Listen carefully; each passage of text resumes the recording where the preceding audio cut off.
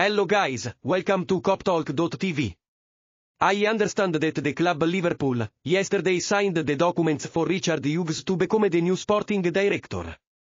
I can tell you 1000% that Richard Hughes is the new man in charge of transfer recruitment at the club Liverpool.